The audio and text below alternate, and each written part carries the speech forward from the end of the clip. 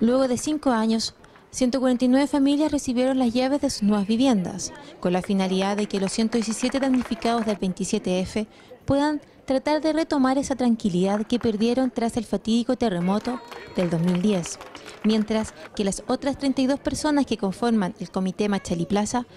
puedan conseguir la anhelada casa propia.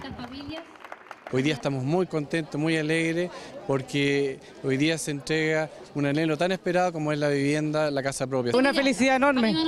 eh, más que nada una tranquilidad, eh, la satisfacción de concretar un proyecto de tanto, de cinco años. Son los integrantes del comité Machali Plaza quienes resultaron beneficiados con un complejo habitacional que está compuesto por casas de 46 metros cuadrados y por dos tipos de departamentos, cuyas medidas van entre los 57 a los 63 metros cuadrados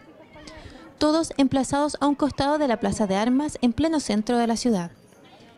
Representan un barrio que está muy bien conformado, muy bien equipado, pero por sobre todo, y ustedes lo pueden ver, con una diversidad de diseño que le da una riqueza mayor al espacio público. Bueno, yo siempre viví cerca de la plaza, por circunstancias del terremoto me tuve que ir de aquí, así que es como volver a mi vida antigua, por normal. Familias que, tras una larga espera, cumplirán con el anhelo de tener una vivienda y así finalizar con cinco años llenos de tristeza, tensión y preocupación por vivir de llegados y no tener una casa propia.